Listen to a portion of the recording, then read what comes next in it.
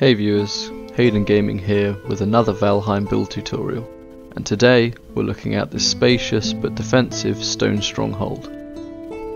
This base is a perfect long-term defensive structure which boasts loads of internal space for all crafting tables, heaps of chests, a cooking station with all the upgrades, as well as allowing for a secondary floor level for even more storage, a sleeping chamber, space for portal hubs, and anything else you might want to add in.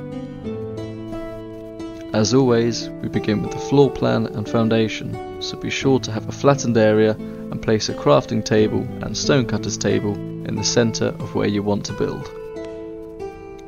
Leading on from a singular placement of a 4x2 stone wall, we create a circular pattern of stone walls using a 7 further on each side from your original placement, leaving a section clear where our gateway will be. We then build out a 2x4 section of wood floor tiles, leading from where your entranceway is, and repeating this so you have 8 sections, ensuring that you skip every other stone wall when laying your floor. We'll then fill in the missed flooring sections with a 2x2 section of wood floor tiles, and then some small 1x1 tiles to fill in the small remaining gaps, repeating this for all sections of floor area that are still exposed. To construct the outer wall of the stronghold, we place 4 metres of wood beams perpendicular to the inner stone wall, and then another perpendicular 1 metre wood beam, allowing us to then place a circular pattern of 3 full height wood walls all the way around the base concentrically, but again leaving a gap for our gateway which we'll prepare for with some 1x1 wood walls.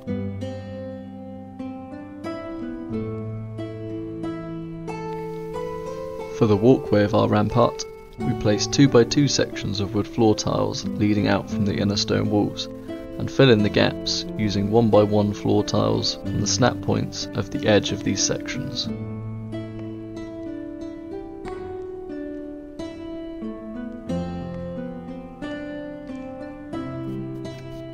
Finish off the external wall, we place stake walls inside the already placed wood walls to offer further protection against attacks. Building up access to the walkway, we'll place two steps alongside the first stone walls on either side of the gateway. As you can see, you might need to play around with some floor tiles here to ensure the snap point works, but it's not too tricky to get right.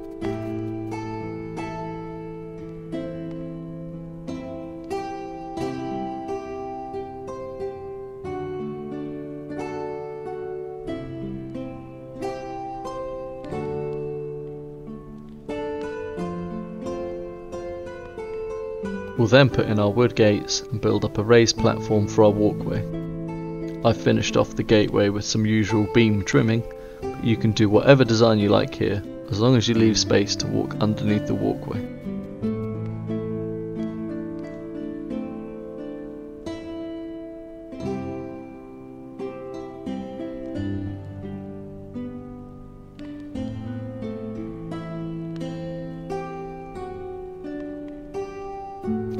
To then create the roofing over the rampart, place 6 metres of vertical wood poles at the end of the wall sections and join these up with 6 metres of horizontal wood beams to then allow us to place 3x2 sections of thatch roofing leading upwards towards the inner stone wall of the base. Repeat this process around the outer wall so you have a fully fortified rampart with a roof covering to stop damage from the elements. We'll then proceed to build up our internal stone wall. Again, using 4x2 stone walls, simply build up 3 more layers on top of the existing foundation to meet the roofing of our external wall, and then, using 2x1 stone walls, build up one further layer.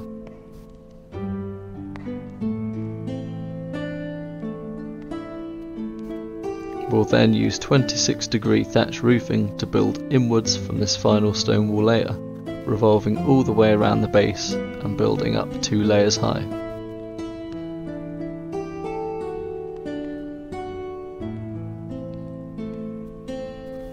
You will then need to return inside the base and using 4 meters of core wood poles build up 16 meters high to create the support for both our roof and our chimney.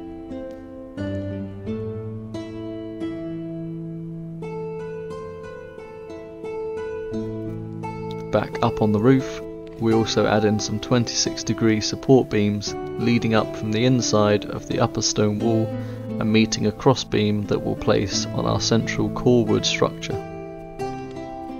We can then use these 26 degree core wood support beams to guide the rest of our thatch roof placements and fill in the gaps by just using the snap points from the existing roofing.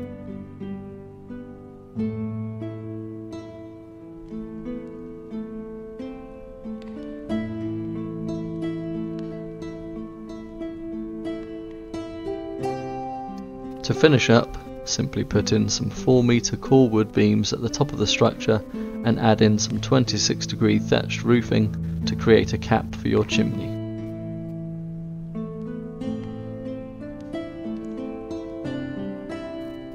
You can then choose whatever internal design you want in terms of adding in another floor for your base and a staircase to match. Just ensure you close up your chimney to stop smoke building up inside your epic stone stronghold.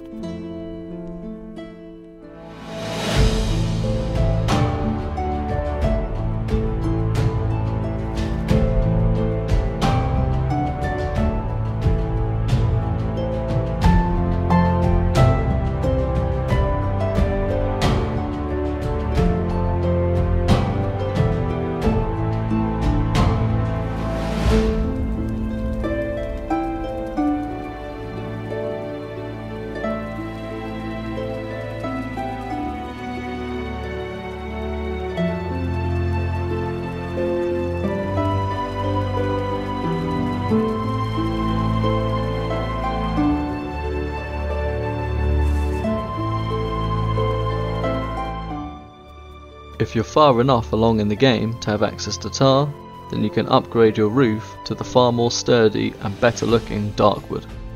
While you're at it, you can add some arches and beams along the rampart to really add a nice finishing touch. Thanks for watching and sticking around to the end of the video. Be sure to subscribe for more Valheim content, hit that like button, and drop a comment on any ideas you have for future builds or ways you can upgrade this stone stronghold. Until next time.